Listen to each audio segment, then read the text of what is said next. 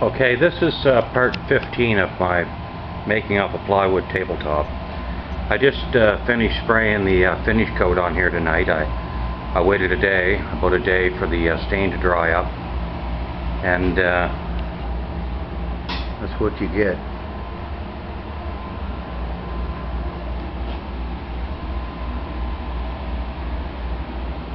See, I'm glad I did uh, paint that. It stands out now.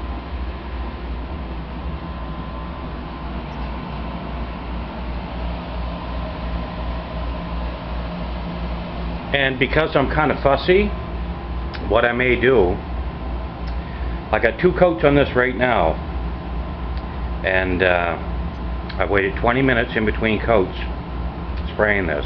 Don't spray heavy, you're just going to have runs. Two light coats. If you miss a little bit in the first coat, don't worry about it. Get up the second.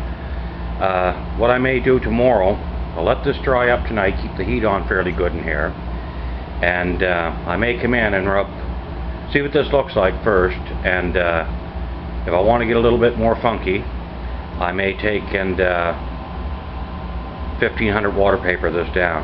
Just the uh, the top and just a little bit around the sides here. Well probably all of it but but I don't know yet.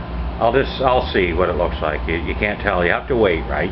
I'll know in probably about six or eight hours what it's going to be but I didn't get any runs as far as I can see, and that's a good thing because it's hard to spray this stuff because it's different than a car. A car you can it's you ain't got sharp angles like this, you know, unless it's an old car. But anyway, that's uh, that's it for tonight. Uh, when I put it together, it'll be uh, part uh, 16, and that'll be the final project, and I'll show you what that looks like. I'll probably make that video in the house to do justice to what I just did. Okay, good night to all, and thanks for uh, thanks for watching these videos.